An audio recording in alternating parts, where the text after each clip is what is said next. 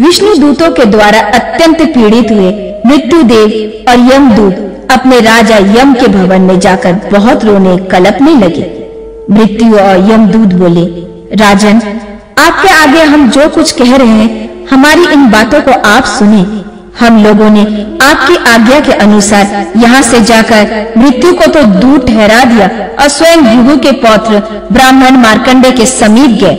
परंतु सत्य पुरुष शिरोमणि उस समय एकाग्रचित होकर किसी देवता का ध्यान कर रहा था।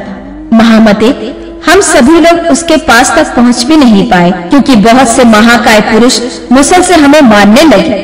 तब हम लोगों को लौटना पड़ा, परंतु ये देखकर मृत्यु देव वहाँ फिर पधारे। तब हमें डांट फटकार कर उन लोगों ने उन्हें भी मूसलों से मारा। प्रभु, इस प्रकार तपस्या में स्थित हुए उस ब्राह्मण को यहाँ तक लाने में हम सब लोग समर्थ न हो सके।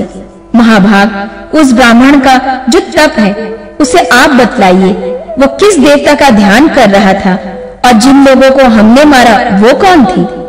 व्यास जी कहते हैं, महामते, मृत्यु तथा समस्त दूतों को इस प्रकार कहने पर महाबुद्धि सूर्य कुमार यम ने क्षण भर ध्यान करके कहा। यम बोले, मृत्यु तथा मेरे अन्य सभी किन्नर आज मेरी बात सुने। योग मार्ग समाधि के द्वारा मैंने इस समय जो कुछ जाना है, वही सच सच बतला रहा हूँ। भृगु के पौत्र, महाबुद्धिमान महाभाग मार्कंडे जी, आज के दिन अपनी मृत्यु जानकर, मृत्यु को जीतने की इच्छा से तपोवन में गए थे। वहाँ उस बुद्धिमान ने भृगु जी के बतलाए हुए मार्ग के अनुसार भगवान विष्णु की आराधना एवं द्वादाक्षर मंत्र का जाप करते हुए उत्कृष्ट तपस्या की है। दूतों वे मुनि निरंतर योग युक्त होकर वहाँ एकाग्र चित से अपने हृदय में केशव का ध्यान कर रहे हैं। किंकरो, उस महान मुनि को भगवान विष्णु की ध्यान की महादीक्षी का ही बल प्राप्त है, क्योंकि जिसका मरण काल प्राप्त हो गया है, उसके लिए मैं दूसरा कोई बल नहीं देखता। भक्त वत्सल कमल लोचन भगवान विष्णु के निरंतर हृदय हो जाने पर उस विष्णु स्वरूप भक्त भक्तवत्सल रणक ने पुरुष की ओर कौन देख सकेगा? वे पुरुष भी, जिन्होंने तुम्हें बहुत मारा, भगवान विष्णु के ही दूत थे। आज से जहाँ वैष्णव हो, वहाँ तुम लोग ना जाना। उन महात्माओं के द्वारा तुम्हारा मारा जाना आश्चर्य की बात नहीं है। आश्चर्य तो ये है कि उन दयालु महापुरुषों ने तुम्हें जीवित रहने दिया है। भला नारायण के ध्यान में तत्पर हुए, उस ब्राह्मण को देखने का भी साहस कौन कर सकता है? तुम महापापियों ने भगवान के प्रिय भक्त मार्कंडे जी को यहाँ लाने का प्रयत्न किया है यह अच्छा नहीं किया। आज से तुम लोग मेरी आज्ञा मानकर उन महात्माओं के पास मत जाना, जो महादेव भगवान नरसिंह की उपासना करते हो।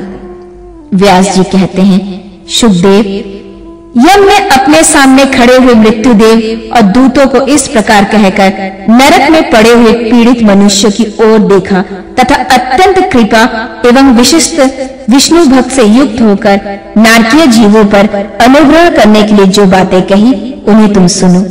नरक में यातना सहते हुए जीवों से यम ने कहा, पाप से कष्ट पाने वाले जीव, तुम क्लेश नाशक भगवान केशव की पूजा क्यों नहीं करते? पूजन संबंधी दिव्यों को ना मिलने पर केवल जल मात्र से भी पूजित होने पर भगवान पूजक को अपना लोक तक दे डालते हैं। उनकी पूजा तुमने क्यों नहीं की? कमल के समान लोचनों वाले नरसिंह रूपधारी जो भगवान ऋषिकेश स्मरण मात्र से ही मनुष्य को मुक्ति देने वाले हैं, उनकी पूजा तुमने क्यों नहीं की? नरक में पड़े हुए जीवों के प्रति यूँ कहकर विष्णु भक्ति से युक्त सूर्य नंदन यम ने अपने किंकरों से पुनः कहा किंकरों अविनाशी विश्व आत्मा भगवान विष्णु ने नारद जी से जैसे कहा था और अन्य वैष्णवों को और सिद्धों को जैसे सदा ही सुना गया है। वह अत्यंत उत्तम भगवान है। मैं प्रसन्न होकर तुम लोगों से शिक्षा के लिए कह रहा हूँ। तुम सभी भगवान के शरणागत होकर सुनो। भगवान कहते हैं, हे कृष्ण कृष्ण कृष्ण, जिस प्रकार जो मेरा नित्य स्मरण करता है उसको मैं उसी प्रकार नरक से निकाल लेता हूँ।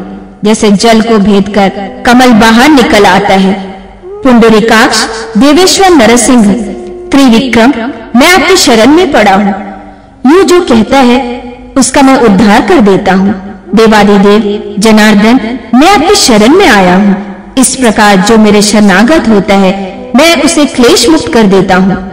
व्यास जी कहते हैं, वत्स यमराज जी के कहे हुए इस बात को सुनकर नरक में पड़े हुए जीव, कृष्ण कृष्ण, नरसिंह इत्यादि भगवान के नाना नाम को ज़ोर से उच्चारण करने लगे। नारकीय जीव वहाँ जो जो भगवान के कीर्तन करने लगे त्यों त्यों वो पापों से मुक्त होने लगे। इस तरह भक्ति भाव से पूर्ण हो वो इस प्रकार कहने लगी। नरकास्त जीव बोले, ओम, जिनका नाम कीर्तन करने से नरक की ज्वाला तत्काल शांत हो जाती है उन महात्मा भगवान केशव को नमस्कार है, जो यज्ञों के ईश्वर है, आदि मूर्ति, शांति स्वरूप और संसार के स्वामी है। उन भक्त प्रिय विश्व पालक भगवान विष्णु को नमस्कार है। अनंत, अप्रेमीय नरसिंह रूप शंख चक्र गदा धारण करने वाले लोक गुरु, आप श्री नारायण को नमस्कार। वेदों के प्रिय, महान एवं विशिष्ट गति वाले भगवान को नमस्कार।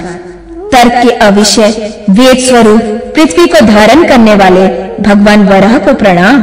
ब्राह्मण कुल में अभितीर्ण वेद वेदांतों के ज्ञाता, अनेक विषयों का ज्ञान रखने वाला कांतिमान भगवान वामन को नमस्कार। बलि को बांधने वाला, वेद के पालक, देवताओं के स्वामी, व्यापक। परमात्मा, आप वामन रूपधारी विष्णु भगवान को प्रणाम है। शुद्ध द्रव्य में शुद्ध स्वरूप भगवान चतुर्भुज को नमस्कार है।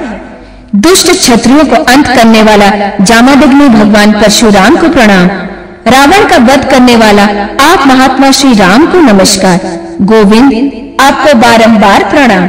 इस दुर्गंधपूर्ण नरक से हमारा उद्धार करें।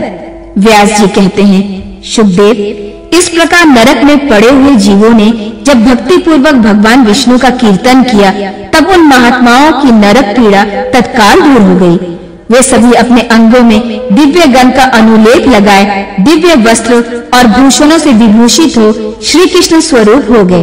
फिर भगवान विष्णु के किंकर यम दूतों को भगाकर उन्हें दिव्य विमानों पर बिठाकर विष्णु धाम को ले गए। विष्णु दूतों द्वारा सभी नरकाश जीवों को विष्णु लोक में ले गए। जाने पर यमराज जी पुनः भगवान विष्णु को प्रणाम किया। जिनके नाम कीर्तन से नरक में पड़े हुए जीव विष्णु धाम को चले गए। उन गुरुदेव नरसिंह भगवान को मैं सदा प्रणाम करता हूँ। उन अमित तेजस्वी नरसिंह रूप भगवान विष्णु को प्रणाम करते हैं। उन्हें भी मेरा बार बार नमस्कार है।